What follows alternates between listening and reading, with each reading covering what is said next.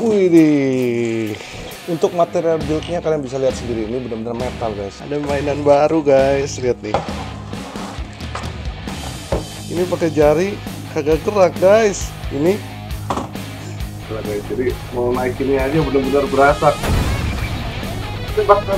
Rotation, rotation, ejek, ejek, ejek, ejek, ejek, ejek, ejek, ejek.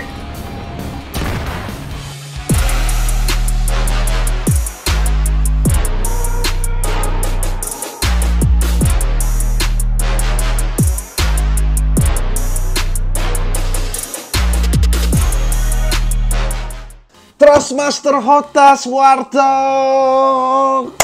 Akhirnya kesampaian guys. Setelah sekian lama saya kepengen punya satu Karena belakangan saya masih suka-sukanya uh, main military simulation ya Yang kayak beneran. Itu modelnya kayak Arma 3 tapi dengan adanya ini saya lagi tertarik lagi untuk masuk ke DCS ya. Ini juga menarik banget untuk kita review. Dan saya udah bener-bener ngebet banget. Gaming room saya sudah saya rapiin. Saya pengen segera pasang dan di video ini saya akan review secara menyeluruh dan lengkap bagaimana yang saya rasakan ketika mempermainkan Arma 3 hari ini kita akan bahas menggunakan Arma 3 saja mungkin besok kita akan coba dengan game lainnya oke segera kita unboxing Oke guys, dari packagingnya kita bisa lihat bahwa ini bukan barang sembarangan ya guys. Ini kelihatan banget barang importnya. Dari packagingnya aja kita bisa melihat kualitas barangnya. Nah yang membuat saya tertarik dengan joystick ini adalah resolusinya. Ini adalah resolusi 16 bit yang tentunya akan memberikan sensitivitas yang luar biasa. Duh, pengen cepet-cepet dibuka deh.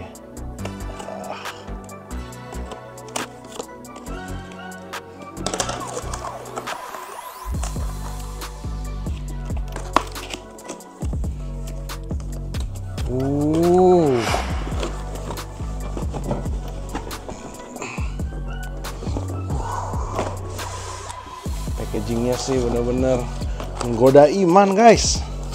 Kita coba buka satu-satu.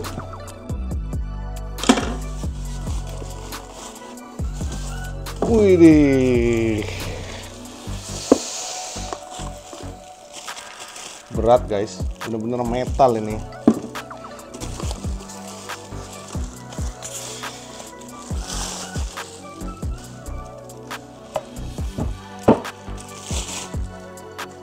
Untuk material buildnya kalian bisa lihat sendiri ini benar-benar metal guys. Ini beratnya saya nggak tahu berapa kilo, mungkin sekitar satu setengah kilo kurang lebih ya. Saya nggak tahu apakah benar atau tidak. Ininya juga cukup berat guys. Jadi ini build materialnya nggak main-main guys nih. Kita buka throttle-nya.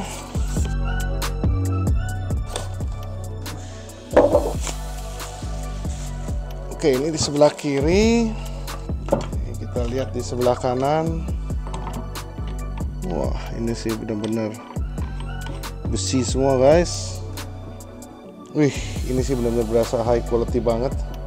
Karena dari bobotnya itu sendiri loh, guys. Coba kalau kalian pakai yang joystick plastik gitu, kalau kalian belok kiri kanan, ini biasanya ngangkat, guys. Ya, ini berat, ini metal semua. Saya tarik-tarik begini, nggak ada yang jatuh, oke? Okay? Sini ada kunci L nya juga. Jangan sampai kita hilang.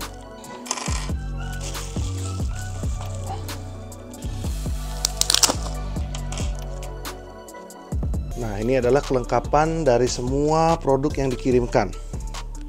Mulai dari joysticknya. Sekali lagi tadi saya belum bisa kasih lihat secara detail ya. Ini tuh metal semua. Kalian bisa dengar. Ini semua kualitasnya metal dan ini berat ini tuh juga sendiri berat dan ini juga berat guys. Jadi kita tarik-tarik dia tetap stationary di sini. Nah kita dapatkan kunci L dan uh, buku panduan. Ya kalau mau kita harus install ini di sini nih drivernya. Terus ini untuk petunjuknya pertama kali ada trim switch weapon TMS yang jelas ini bisa kita konfigurasi ini buttonnya ya. Tombolnya banyak banget. Kita bisa assign buat Arma 3 saya nggak tahu di game-game lain tapi kalau di Arma 3 dengan lebih banyaknya tombol akan sangat bermanfaat. Jadi untuk joystick ada tombol merah di depan tombol hitam terus juga ada tombol juga push button juga di sini. Ini trimnya. Karena sekedar untuk kalian ketahui uh, pesawat-pesawat model Cirrus juga screennya juga mirip-mirip kayak begini. Nah, kalau di Airbus disconnect button terus kita punya untuk joystick juga guys nih mantep sih guys Oke, untuk throttle-nya ini ada frictionnya bisa increase ataupun decrease ya. Jadi kalau kita increase ini jadi lebih uh, berat ya. Ya karena ini penting kalau untuk kita mau sensitivitas nih sama di pesawat beneran juga ada frictionnya juga. Mau lebih keras atau lebih kendor. Karena jujur kalau buat saya lebih keras tuh lebih enak gitu loh. Jadi kita bisa jaga nih powernya nih di sekian gitu loh. Karena untuk movement sedikit aja kalau terlalu longgar gitu nanti gampang naik-naiknya gitu loh. Jadi untuk sensitivitas kecil ini akan sangat membantu sekali ya friction ini. Ada engine flow terus motor ya. Ignition normal atau motor. EPU start EPU keren guys. Silence warning. Autopilot disengage ya kan? 4 altitude heading. Ya terus arm. Flaps. Mantap semua udah ada di sini. Seneng banget sama suaranya ya. Oke kita bawa ke gaming room saya. Selamat datang di gaming room saya ini kayaknya sudah harus di replace ini. Ada mainan baru guys. Lihat nih. Tidak bermaksud membandingkan. Ini pakai jari kagak gerak guys. Ini. Wah sangat excited sekali. Ini kita cabut-cabutin terus kita pasang guys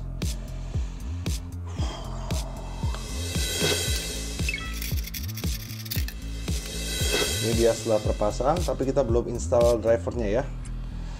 Nah ini kalau kita mau kunci di belakangnya ada locking mechanism di sini. Nah, jadi dia kita bisa operasikan uh, sebagai satu. Oke nge-refer ke petunjuknya. Kita harus ke support.trustmaster.com karena kita punya yang Hotas Warkop yang sepasang ya. Ini kalau cuma dual throttle doang ini kita tinggal klik aja ikutin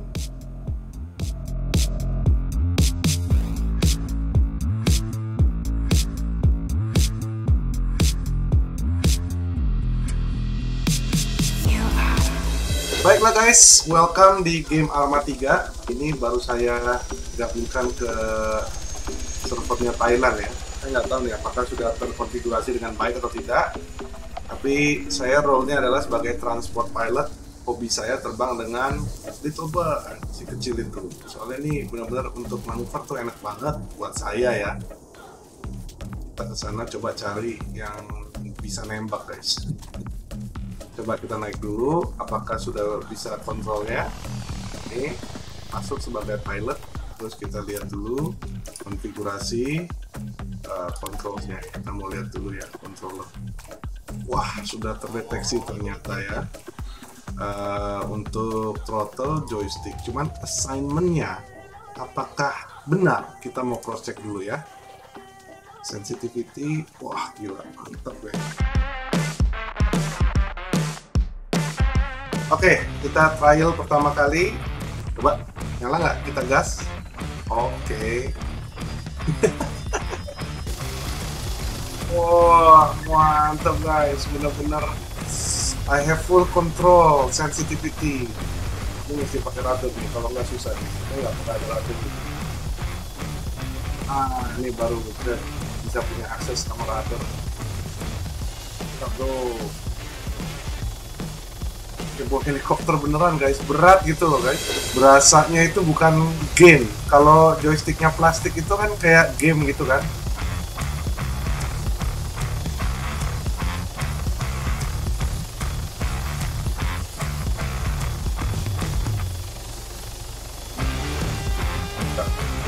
Kita ganti dulu sama helikopter yang bisa nembak guys jadi game ini seru banget karena ini adalah military simulation guys. Jadi bukan tembak-tembakan kayak model PUBG gitu kan, itu kan game. Kalau ini tuh benar-benar kita punya banyak pilihan uh, mulai dari tank ataupun uh, ada mortar. Jadi benar-benar military simulation. Makanya saya senang banget main ini. Nah, ini saya pilih server yang kosong. Kalau yang rame itu kurang begitu asik gitu. Nah, ini nih helikopter tempur nih ya jadi kalau kalian ini terbang bawa gunner ada yang bisa nembakin nih minigun nih.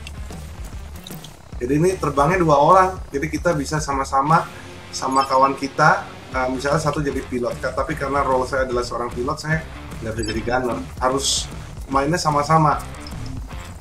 Yuk, saya sukanya pakai helikopter yuk kita terbangkan dulu.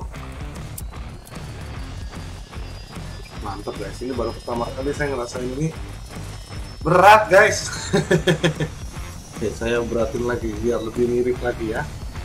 Ini lebih seru guys. Pakai ini jadi benar-benar mantep gitu loh. Kayak kontrol pesawat beneran. Kayak Airbus juga kayak begitu guys. Coba ya. Mantap ini have full control guys. Benar-benar. Oke coba ya mantep sih. Cuman saya belum terbiasa pakai rudder pedal kan. Biasanya kita pakainya joystick yang plastik itu itu ada radarnya tapi nggak seharusnya seperti itu. Kita kan nggak boleh semata-mata kayak gitu. Di sini kan nggak pakai radar nih. Tapi memang kan joystick memang gunanya ya untuk joystick gitu loh. Nggak bisa kita sama-samain. Nah di sini ada beberapa jenis gun. Wah ini tapi mesti saya kalibrasi dulu deh. Saya belum kalibrasi soalnya tadi uh, untuk senjatanya. Ini uh, senjata ini saya belum sign nih configure control ini senjata ya weapons. Weapon kita harus bisa ganti dong. Tembak. Ini tembaknya belum ada. Nah tembaknya masukin. Ini ganti senjata nih. Kita bisa ganti senjata nih. Nah coba tembak yes. Ganti senjata? Oke. Okay. ini ada misilnya guys. Nah, guys. Jadi mau naikinnya aja benar-benar berasa. Kalau kemarin kan terlalu kecil gitu kan ya. Kayak di Warzone ini kita nggak boleh terbang tinggi-tinggi guys. Kalau nggak jadi sasaran tembak. Aduh belum terbiasa tapi seru banget guys. Biasanya kita bisa lebih lancar cuma karena ini uh, belum terbiasa. Ya namanya kita harus beradaptasi lagi gitu loh sama dengan ceritanya kita mau adaptasi dengan pesawat beneran dengan simulator. Itu juga orang yang biasa membawa pesawat beneran harus beradaptasi dengan simulator. Oke. Mantap bro. Ini loh gamenya seru banget sih. Kita bisa masuk ke dalam kapal induk nih. Kita tahu di kapal induk bukan ya? Di lautnya juga kita bisa beraksi perang di laut bisa kita juga bisa role sebagai fighter pilot atau transport pilot tergantung dari gamenya ya. Ganti senjatanya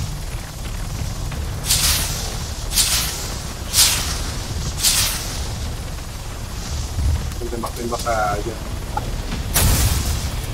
Tembak tembak rotation auto rotation. Oke ejek ejek ejek. Ejek ejek ejek ejek ejek ejek ejek ejek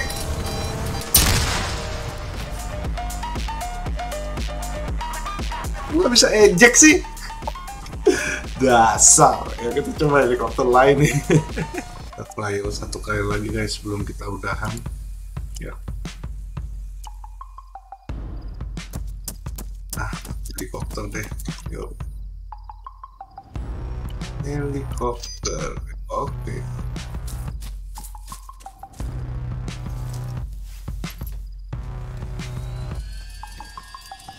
Bro, mapnya kita buka, kita lewat mana ya? Kita datang dari sini aja, dia pasti musuh dari sini nih. Kita dari selatan aja kita.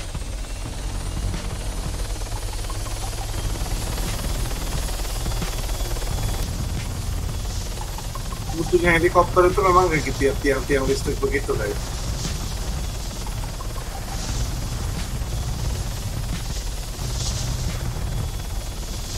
kilo lagi kita datang dari ini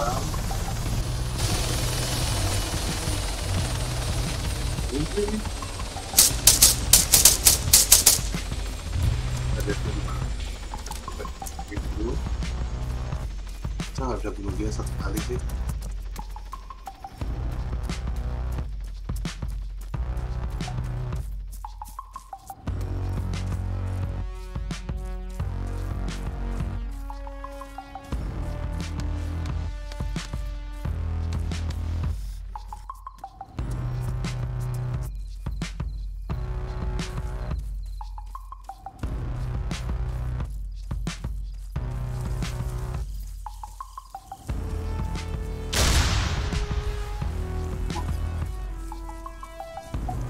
soalnya guys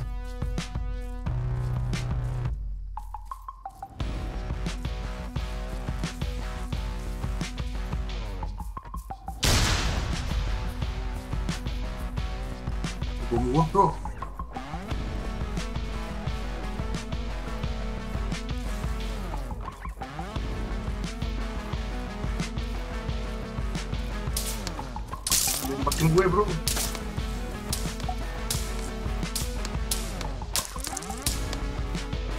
sniper dari mana itu?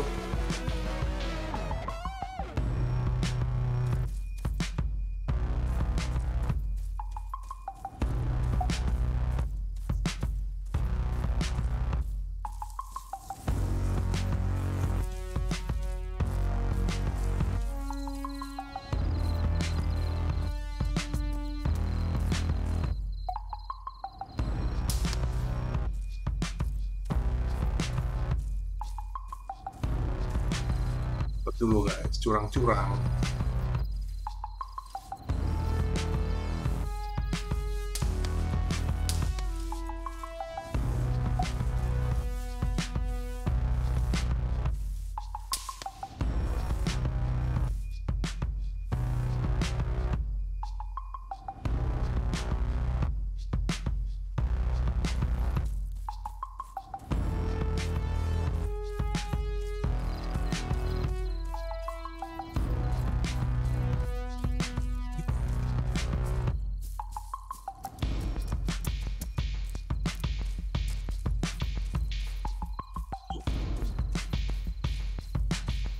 Nah, jadi idenya kita sebenarnya nggak harus bunuh orang di sini, guys. Yang penting kita stay di dalam zona itu, kita menang.